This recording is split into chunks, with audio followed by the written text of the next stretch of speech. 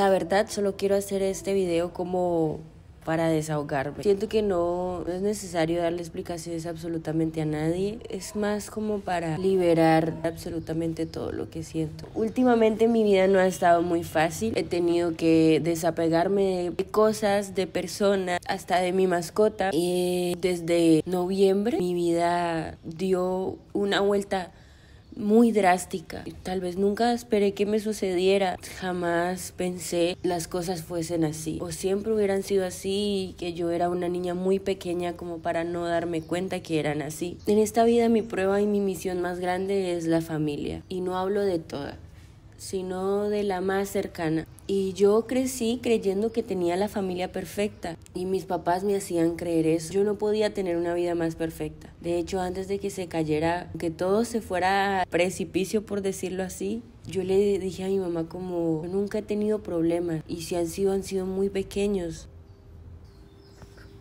que no entendía por qué la gente pasaba tantas cosas. Siento que siempre hay niveles de, de situaciones. A veces perdemos amigos, nos alejamos de otros seres, pero nunca esperamos la partida de personas que tú amabas con el alma, como lo son tus padres. Y toda mi niñez viví engañada con una familia que no era perfecta y que mi mamá tuvo que luchar toda mi vida haciéndome creer que tenía una, una vida de cuento de hadas los, como desde mis 13 años, absolutamente todo empezó a, a caerse de una forma extraña, pero nunca me hice consciente de la situación.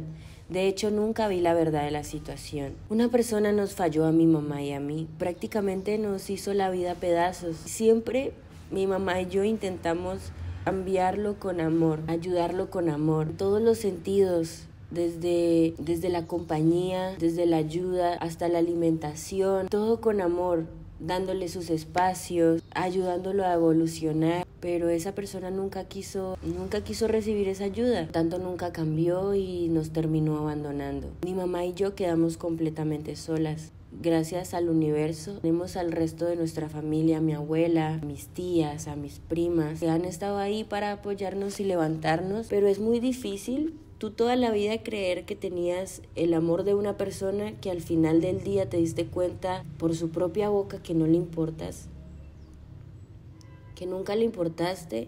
Fue muy choqueante para mí, es muy choqueante para las personas que amamos desde el fondo de nuestro corazón y amamos tan sinceramente. Desde noviembre, que antes de noviembre empezaron muchos problemas en mi casa, yo me fui de viaje y no esperaba que, todo lo que estaba sucediendo estaba pasando. Tampoco querían contármelo como para no estresarme en mi viaje. Cuando llegué aquí, a mi casa, absolutamente todo estaba destruido. Ya ese ser se había ido de aquí y no vivía aquí.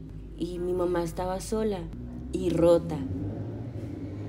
A veces me duele escuchar a, a mi mamá decir que, que ya no puede más no solo por culpa de ese ser que nos hizo tanto daño, sino porque a raíz de eso, luego, en enero, pasó noviembre, pasó todo eso, fue muy difícil porque había muchas cosas de por medio, había mucha desestabilidad emocional. Todo noviembre fue un mes demasiado duro para nosotras, un mes donde tuvimos que enterarnos de muchas verdades que nunca creímos que eran así entonces tuvimos que ver, escuchar y leer cosas que, que, eh, que, fueron demasiado difíciles de asimilar. Es muy triste ver cómo, cómo todas las mujeres se identifican con la historia de Shakira, por ejemplo. Mi mamá fue una de ellas. Prácticamente les sucede lo mismo y que quedan absolutamente rotas, corazón en la mano, totalmente lastimado, pero mi mamá ha seguido ahí por mí y más que por mí siempre le digo que lo haga por ella, porque es una mujer maravillosa, porque es una mujer que merece el mundo entero y no merece que le haga nada malo, porque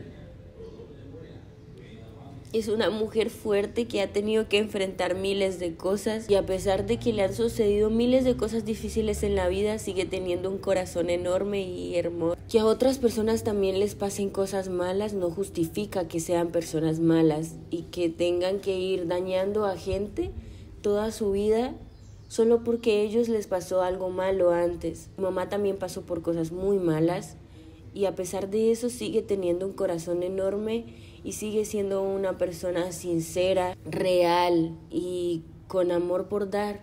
A raíz de esto se desencadenaron muchas cosas. Todo noviembre para mí fueron llantos, para mi mamá, mucho descontrol emocional, mucho desorden mental, desorden de muchas cosas, tanto alimenticio como de, de sueño.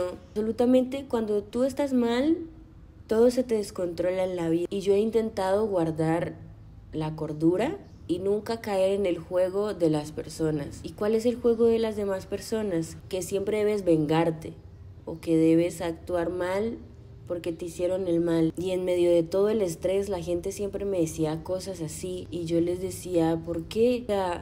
¿por qué se debería pagarle mal a alguien que ni siquiera tiene conciencia de lo mal que actúa, ni siquiera tiene conciencia para aceptar el daño que le hace a las personas? Siempre he pensado que a quien da de lo que tiene en su corazón. Y si alguien es malo o si alguien hace daño es porque tiene un corazón demasiado dañado. Si yo no tengo mi corazón así, ¿yo por qué le voy a hacer daño a alguien? Siempre he dicho que la vida misma se encarga de darle las cosas que se merecen a las personas que se lo merecen. Y nunca he tenido la necesidad de pensar en hacer algo equivocado porque esa persona falló conmigo. Siento que el acto más grande de amor propio es tener en cuenta que como tú tratas a los demás, te estás tratando a ti mismo. A raíz de eso, mi madre y yo quedamos en, en una casa enorme solamente para ella y yo, en donde ya no era necesario tenerla. Nos sentíamos muy solas, a veces yo debo viajar por trabajo y mamá se queda sola en una casa que es innecesariamente enorme. Y que si yo obtenía estas cosas y si he obtenido otras era para él, pero al final esas cosas no valieron tanto. Solamente decidió abandonarnos sin pensar en absolutamente nada de lo que teníamos, en pensar en absolutamente lo que dejaba atrás. Decidió irse con otra persona que tal vez había conocido hace un mes o dos meses y no quedarse con una mujer que lo amaba con el alma, daba su vida por esa persona. Yo preferí no estudiar porque sabía que el dinero era un problema muy grande en mi casa siempre, que el tema de pagar, de dividirse cuentas, siempre era una pelea muy grande en mi casa. Entonces siempre me, me dije como, ¿para qué voy a entrar a una universidad y al final va a terminar siendo una pelea? compra de muchas cosas en mi vida antes de que yo tuviera dinero y las comprara yo sola. Cuando me las daban era un problema, porque siempre era cómo nos vamos a dividir las cuentas, eh, tenemos que dar lo mismo, eh, partes iguales, hay que pagar en cierto tiempo, el otro no pagaba cierto tiempo, era una pelea. Y yo presenciaba todas esas peleas y al final le, que, le cogí fastidio. Por eso en mi último año del colegio preferí no tener chaqueta de prom porque sabía que era dinero y prefería no hacerlo para no tener problemas en la casa. Preferí no ir a la excursión de 11 tampoco porque era más dinero y eso iba a traer también discusiones y peleas en mi familia. Yo preferí Quería evitar esas cosas y simplemente no hacerlo. Asimismo con la universidad. Por eso decidí tomar mi rumbo en algo que simplemente me gustara y me hiciera feliz. Y gracias a Dios y al universo esto me ayudó mucho a ser una persona independiente, aunque viva con, aunque vivía con mis papás. Ahora vivo con mi mamá. Y todo lo que yo obtengo gracias a esto de las redes sociales para mí y para mi madre. Por mí a mi mamá le bajaría al mundo entero. Le daría absolutamente todo porque se lo merece y porque es una madre fuerte, porque es una madre que siempre me ha demostrado y me ha enseñado que debo ser feliz. Aunque ahora ella ha tocado fondo, ha tocado a mí ser su polo a tierra y decirle que la vida es maravillosa y que absolutamente todos los problemas que te pones porque eres capaz de enfrentarlos, que son situaciones que tienen un lapso de tiempo y se terminan en algún momento. Todas las lágrimas que hemos derramado y absolutamente todos los gritos que hemos dado y todo lo malo que recibimos es porque hay una vida llena de luz por delante y que siempre van a haber situaciones malas y hay situaciones buenas, pero son parte de la vida.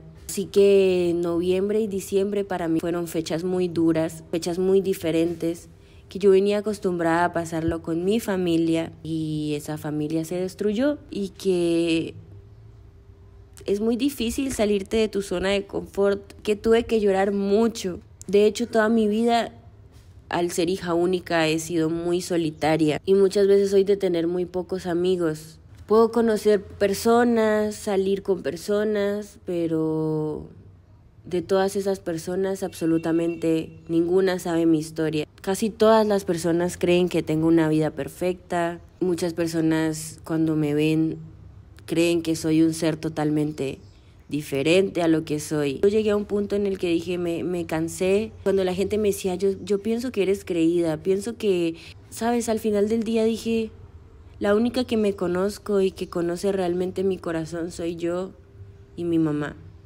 Mi mamá es el único ser que me ha escuchado hablar y dar consejos desde el fondo de mi corazón, con toda la buena intención del mundo, que me ha visto llorar, reír, contarle mis sueños, mis frustraciones, que ha escuchado de mí cuando he estado rota, cuando ya no he podido más. Alex es otra de las personas que me conoce mucho y que siento que yo no podría estar siendo tan fuerte en este momento. Y fuerte no significa no llorar, sino hacer las cosas bien y tomar buenas decisiones a raíz de una situación difícil. No dejarse llevar por las emociones ni por la mente, sino guiarse desde el corazón. Y eso me lo enseñó Alex. Conocí a Alex inesperadamente y Alex ha sido la persona que más me ha centrado. Alex ha sido mi maestra más grande de vida desde que la conocí. Es un ser tan sabio y tan centrado, con tanta experiencia y tanta inteligencia para guiarte por la vida. Alex también me llevó a conocer personas que me ayudaron a crecer interiormente muchísimo. Justo conocí a Alex en el momento perfecto para que ella y la vida me prepararan para una situación como la que viví desde noviembre. Siento que la niña de 17 años, si le hubiese pasado esto, no hubiera sido capaz de enfrentarlo. Porque una cosa es contarlo por encima, porque no quiero dar detalles para no tener problemas, evitar muchas cosas. Y otra cosa es vivirlo y saber la realidad de las cosas. Vivir el maltrato psicológico, el abandono, escuchar que el ser que más amas te diga que no le importas y que te lo diga en la cara, que te creen un millón de inseguridades. A raíz de eso, se me creó una inseguridad muy grande y es que las personas me abandonen. Es pensar todo el tiempo que, que, que incomodo y que fácilmente la gente se puede ir de mi vida y no les importo. Las cosas que me suceden, pienso o siento no le importan a nadie. Porque desde muy pequeña, al ser hija única, Siempre tuve que llorar sola en mi cuarto sin contarle a nadie para que no me dijeran como, ay, eso no es nada, o son problemas de niños, o son problemas de adolescentes, o es cualquier cosa. Cuando seas más grande vas a entender realmente qué son los problemas. Y que siempre minimizaran y minimizaran mis problemas hasta el punto en el que por esa razón aquí en redes sociales nunca suelo contar nada. Muchas veces no subo nada de lo que grabo, sea feliz, triste, divertido o no porque siempre siento que no importa, siento que no entretiene. Y todo lo que me ha pasado últimamente y lo que me ha pasado muchas veces en la vida me ha bajado el autoestima y ha hecho que me subestime en absolutamente todo lo que hago. Y que estoy en un constante trabajo, empezar a valorar absolutamente todo lo que hago y entender que todos somos brillantes, todos somos únicos, todos tenemos mucho por dar. Pero a raíz de esto que me pasó se me crearon muchas inseguridades y aunque no esté sola, me siento sola a veces. Y que muchas, es que es raro, es un sentimiento de que me siento sola y lloro, pero también me gusta estar sola. Solo porque nadie te juzga si lloras, nadie te juzga si gritas, nadie te mira mal si haces algo, pero siento que si la vida te pone esas cosas y esos problemas de autoestima y de bajo amor propio, es porque te está mostrando todo el tiempo al frente de tus ojos que tienes que trabajar en eso. Es cuando tú vas en el carro y le suena algo raro al carro y suena algo raro todos los días en el carro. Es porque te están dando una señal de que debes llevar a arreglarlo. Asimismo es la vida con la gente. Es, es hacerte consciente de las situaciones que te pone enfrente la vida y qué te quiere hablar para que tú trabajes en ello. Sé que mi tarea más grande en esta vida es trabajar en el amor propio y en en darme prioridad a mí y si yo tratara a alguien como me trato a mí misma o como pienso de mí misma, esa persona me odiaría, pero podría yo odiarme a mí misma. Al final del día, uno mismo es el que está con uno en los momentos tristes, uno mismo está en los momentos felices. Somos los únicos que presenciamos absolutamente cada emoción, situación, parte de nuestra vida. Que odiarnos y tratarnos mal. Muy triste que la mente a veces nos lance tantos pensamientos malos acerca de nosotros mismos, como que no importamos, que a nadie le importa lo que uno le pase, que uno no tiene talento, que uno no sirve para nada. Es ver triunfar a otras personas y decir, güey, yo, yo no sé hacer nada por la vida. Tal vez sí, sí sé hacerlas, sí sé hacer muchas cosas, solamente que me subestimo tanto hasta el punto de decir que no hago nada, pero es imposible. Y es muy triste llegar a ese punto. Así que desde noviembre y diciembre para acá ha sido un trabajo muy fuerte. Ha sido pensar el triple positivo de lo que pensaba antes y decir si puedo, si puedo. Siempre puedes. Y si pasan más situaciones, siempre puedes. Las personas de mi alrededor me decían, esto es solo el inicio, vienen cosas peores. Pero ¿por qué? ¿Por qué pensar eso y por qué no mejor pensar, esto es por algo bueno? Mañana va a pasar algo bueno. Tienen cosas muy buenas y por eso pasan las cosas malas. Le abren la puerta a algo increíble. He tenido recaídas y he tenido momentos positivos y recaídas y momentos positivos, pero toda esta situación me llevó a perder la luz. Perdí mi creatividad. A veces ya no sabía qué hablar en historias no sabía qué grabar en un TikTok. YouTube lo dejé completamente porque YouTube ha sido la plataforma en donde más he sido explosiva y espontánea. Perdí todo eso, me perdí a mí. A veces decía, no sé cuál es mi personalidad, no sé quién soy. No sé cómo yo podía ser esa niña tan feliz o ser así extrovertida, no sé. Yo le decía a mi mamá, siento como que yo tuviera un botón de apagado y lo hubiera presionado y estuviera totalmente apagada. Mi mente estaba en un constante arreglar la situación, pero no podía hacer absolutamente nada más. Perdí totalmente las ideas, la creatividad, las ganas de hacer cosas. Lo único que hacía en mis días era ir al gimnasio para distraer mi mente y volver a la casa a seguir pensando en cómo íbamos a arreglar la situación. Yo suelo hablar con muy pocas personas de lo que siento.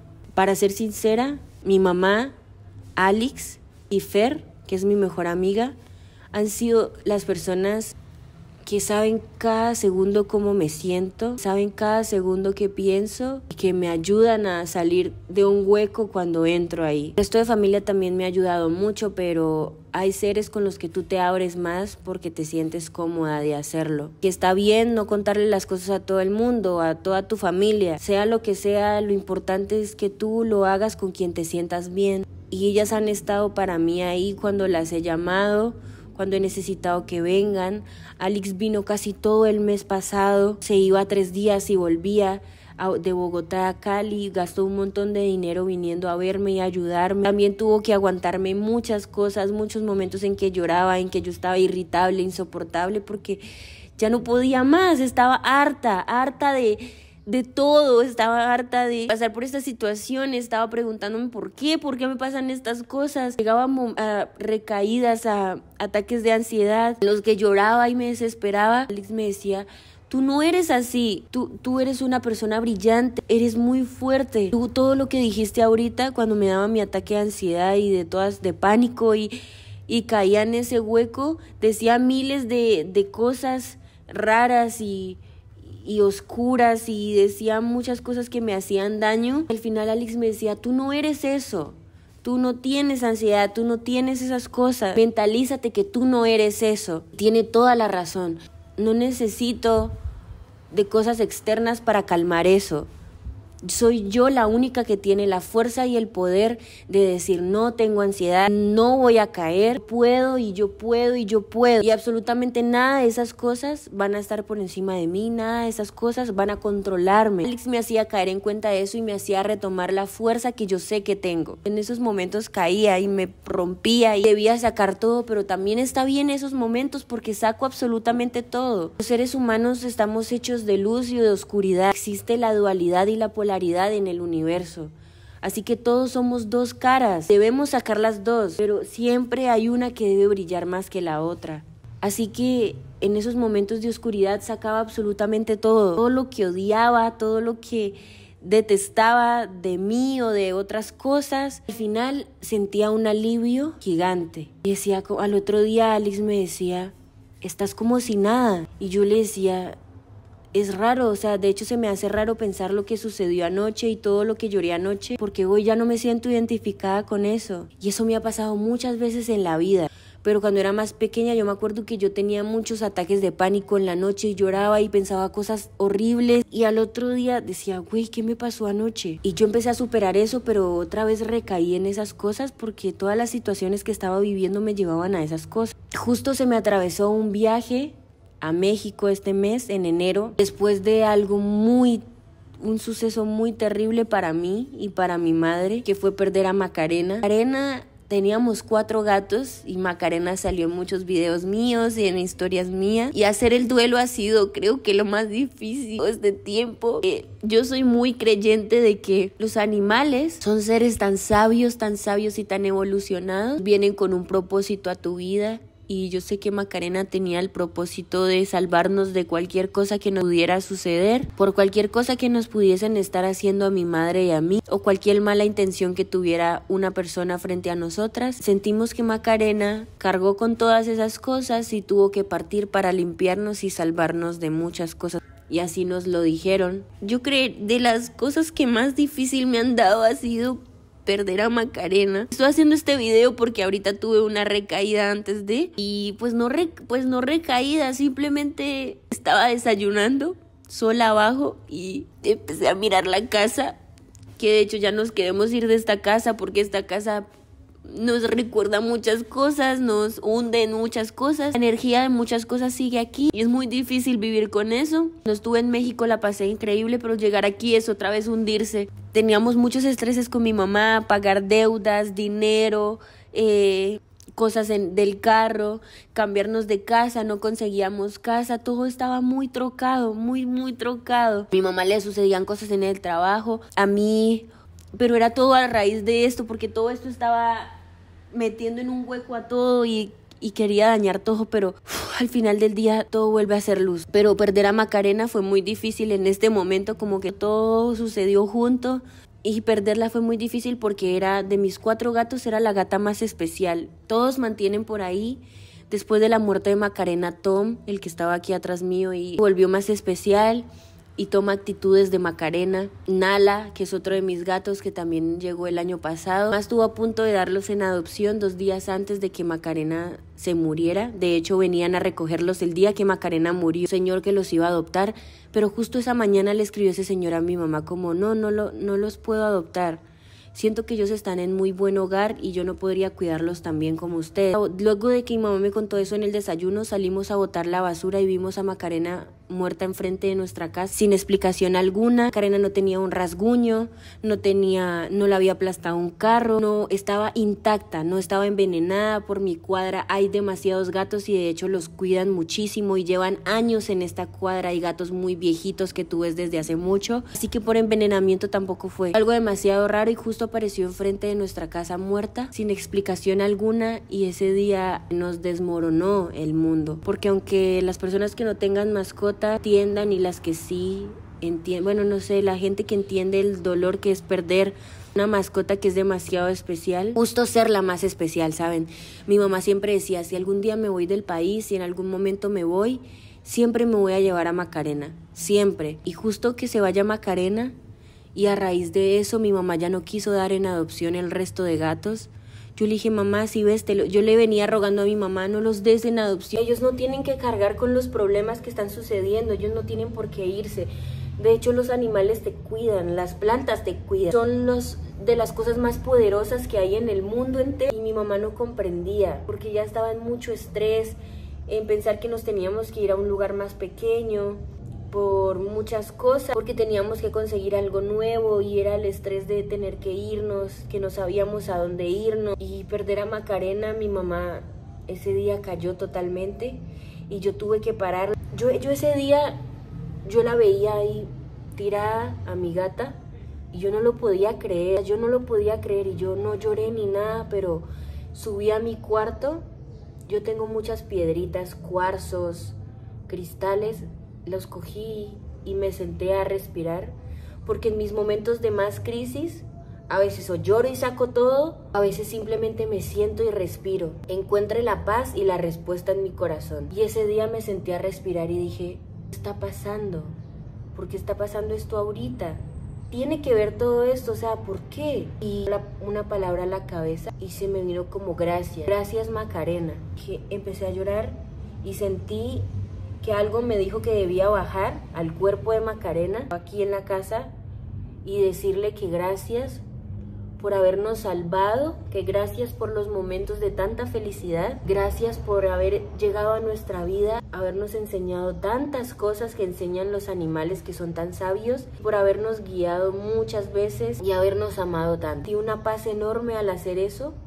Lloré mientras le agradecía todo a mi gata y luego mi mamá otra vez cayó en una crisis y empezó a llorar y decía, no puedo más, no puedo más, ¿por qué me sucede esto a mí ahorita? Y la paré y le dije, mamá, lo que tienes que hacer ahora y lo mejor para Macarena y su espíritu es que le agradezcas. Agradecele mucho, agradecele todo lo que hizo por ti, agradecele que te salvó de algo que te podría haber pasado, agradecele que, que te amó tanto que cumplió su propósito en este mundo por ti. Toda cosa mala trae alguna buena. Todo tiene que ser un equilibrio en el mundo. Todo es la ley del equilibrio. Y es una ley. Le dije muchas de esas cosas a mi mamá. Le, recalqué lo fuerte que es, lo maravillosa que, que tenemos muchas cosas por vivir y por trabajar en nosotras mismas y que gracias a Dios todo esto nos está haciendo conscientes de muchas cosas en nuestro interior para trabajarlas, que es lo más importante y a eso vinimos a la vida. Ser felices, hacer lo que nos apasiona y trabajar como el ego, el orgullo, la baja autoestima, la apariencia frente a los demás. A veces la vida nos da a entender que no debemos aparentarle absolutamente nada a nadie, que no somos, que no tenemos, que, que no existe. Simplemente vivir con lo justo, con lo que hay, con lo suficiente y ser felices con ello, yo entendí que no debía tener la familia perfecta para ser feliz. Simplemente soy feliz con cualquier persona, no simplemente con una familia perfecta, con una casa grande, no simplemente con, a veces en el trabajo uno dice, no, voy a ser feliz cuando tenga un millón de suscriptores. ¿Por qué? Soy feliz con los que tengo y ya, estoy agradecida con los que tengo. Si me ven dos personas, soy feliz con esas dos personas. Si me ven mil personas, soy feliz con esas mil personas.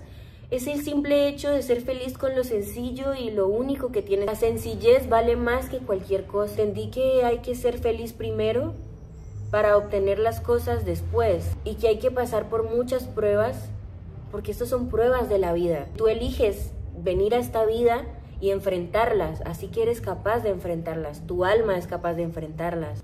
En este caso a mí no me estaría sucediendo esto, yo elegí vivir por esto y sé que soy capaz de enfrentarlo y sé que soy capaz de ser muy fuerte y que soy capaz de perdonar, que soy capaz de desearle el bien a esa persona que nos hizo tanto daño es cuestión de aprovechar estas situaciones malas, todo pasa por algo. Es entender esas señales para empezar a evolucionar con ellas, a crecer más con ellas. Así que muchas personas en mis redes sociales me dicen como cuenta tu historia. Sé que no la conté muy bien, sé que no saben el trasfondo de todo porque prefiero evitar muchas cosas. Pregunto cuál es tu situación porque cómo haces para superarla, ¿Cómo, cuál es tu ayuda, cómo haces. Leer me ha servido mucho de crecimiento personal, pero esto no tiene que ser la solución para todo. Siento que todos debemos entender que el poder está dentro de nosotros, la realidad que nosotros creamos que es. Yo decidí creer que estas situaciones y absolutamente todas las situaciones malas que me sucedan es porque hay algo ahí que me tengo que ver para crecer, para evolucionar. Todo eso me va a llevar a cosas espectaculares y que mientras tú actúes bien, Mientras tú tengas buenas intenciones, mientras tú hagas las cosas desde el corazón, todo te va a salir bien en la vida. Así que la gente que le tiene miedo al futuro o que piensa en el pasado y llora, el pasado es experiencia. Y aunque a veces duela, hay que verlo sin juzgarlo y dejarlo ir, que ya no está. Y el futuro es algo incierto, es algo que no existe. Pero el futuro, tú sabes de tu futuro dependiendo de lo que hagas hoy. Si hoy piensas positivo, así que si hoy dejas de estresarte, así que si hoy trabajas en ti, en decir si puedo, yo me amo, trabajo en mí, en mi físico, en mi salud emocional. En mi caso, cuando yo me siento muy mal, escribo todo lo que me hace sentir mal y eso me libera. Cuando me siento muy abrumada, me grabo hablando y diciendo todo lo que siento y eso también me da un alivio, que son terapias que yo hago sola a veces pinto una emoción, la dibujo y eso me libera. Son cosas muy sencillas que realmente te ayudan como terapia. A veces hacer un collar me hace feliz y me hace sentir me concentro tanto en lo que estoy haciendo que olvido el resto de cosas. A veces ir manejando, para mí manejar es mi mejor terapia en el carro y reflexiono mucho sobre muchas cosas del mundo y de la vida. Me voy a un bosque y recojo mucha basura y eso me hace sentir en paz también y me hace sentir que hice algo por mi vida. ¿Me entienden? A veces no todo es trabajo y dinero, a veces son cosas sencillas que te hacen sentir bien, como pintar, a veces me meto a bañar y siento el agua y eso me hace sentir en paz. Ustedes crean que es absurda, cada que me voy a tomar un vaso de agua digo, esta agua me va a hacer feliz, me va a hacer sentir increíble. Es entender que todas las personas vienen y van, que todo pasa por algo y que a veces le pedimos a la vida que nos quite las cosas que nos hacen daño y puede ser la persona que menos creías, pero si te la quitó del camino es por algo y porque tal vez ya no aportaba nada. Ahora más que nunca he aprendido sobre el desapego porque yo era muy muy apegada a mi familia. He tenido que desapegarme de muchas cosas para entender que al final no nos llevamos nada. Al final hay que disfrutar cada momento, al final hay que creer en nosotros, hay que creer en nuestro poder. Siempre confiar, confiar y confiar ciegamente. No hay que ver para creer, sino creer para ver. Siempre creo y la gente me dice, estás loca, eso no te está pasando. Pero yo les digo, si lo creo como si ya lo tuviera hasta que me suceda. Y últimamente he creído que esto va a ser por algo maravilloso y que aunque a veces me ponga triste, está bien porque debo dejar pasar mis emociones y que está bien estar triste, está bien desesperarse, está bien tener una crisis. Pero al final del día siempre estar convencido de que es la vida, de que las emociones son partes de la vida y que venimos a este mundo a experimentar eso. Las emociones, las circunstancias, los sabores, los olores. Venimos a percibir miles de cosas, pero cuando estamos en una situación mala solo vemos lo malo. Hay que ver otros panoramas. Es como cuando tú estás en un cuarto y te dicen, mira todas las cosas blancas que hay en el cuarto. Y tú las 10 cosas blancas y luego te preguntan, ¿cuántas cosas rojas viste? Y nunca las viste porque te concentraste solo en las blancas. Mientras estés en un momento malo, también hay cosas buenas, así que también debes darle atención a esas cosas buenas, para que no te ahogues solo en lo malo, sino darle visión a todo, que el mundo es muy grande, la vida es muy amplia, hay más cosas por ver, hay más oportunidades por, por experimentar, hay más puertas por abrir. Si podemos, hagan todo con amor. Nunca le malintencionen nada a nadie. Así alguien te haga todo el daño del mundo, todo, todo el daño y así esa persona sea el ser que más amas en el mundo. Nunca le mandes malos pensamientos y actos menos. Todo lo que tú mandas se te devuelve. Así que si tú quieres que te pasen cosas buenas, envía buenos pensamientos, no envidies si a ti te envidian es porque tú envidias, tú recibes todo lo que das. Da todo eso, todo eso que tú quieres obtener, dalo y así lo vas a obtener. A veces la gente dice, ah, ¿Por qué, no, ¿Por qué no hacen esto por mí? ¿Por qué no hacen esto por tantas cosas? ¿Por qué no me ayudan? ¿Por qué tú realmente estás ayudando? Tú estás dando eso por las personas. Hay que dejar de echarle la culpa a la gente. Hay que dejar de ver las cosas externas a nosotros. Todo lo que nos sucede es total y única culpa de nosotros. Si te falta algo de los demás, es porque a ti te falta dártelo a ti y a los demás. Que hay que mirarnos más a nosotros mismos, ponernos más atención amarnos más, escucharnos con piedad, o sea, sin juzgarnos, sin decir, ah, ¿por qué soy así? ¿Por qué tengo que pensar así? No, escúchate sin juzgarte, llora sin juzgarte, enójate sin juzgarte, ama sin juzgarte. Simplemente siente y ya, déjate sentir, déjate ser, es parte de ti y ama cada uno de esos procesos. Cada momento del proceso suma más que simplemente pensar en el final del proceso y cómo lo vas a arreglar. Mejor vive cada día, disfruta cada momento que te brinda la vida y mira las cosas buenas y ámate mucho. Cata, ámate mucho. Creo que este es un consejo para mí también y que cuando yo vea este video va dirigido para mí también. A veces es muy fácil aconsejar a la gente, pero no a ti mismo. Así que este video también lo hago para mí. Cata, te amo, eres increíble, eres brillante, Tienes mucho por darle al mundo, mucho. Una persona llena de amor es noble. aunque las personas piensen lo contrario de ti, solo tú te conoces. Tú sabes qué das, quién eres y qué sientes. Sigue, la vida es increíble. Esos momentos son difíciles, pero es increíble. Siempre puedes. dar mucho, amar más, ser más creativa. Eres única y asombrosa. No te preocupes por nada, porque todo va a llegar a su debido tiempo. Ten paciencia y confía en el proceso. ¿Ok?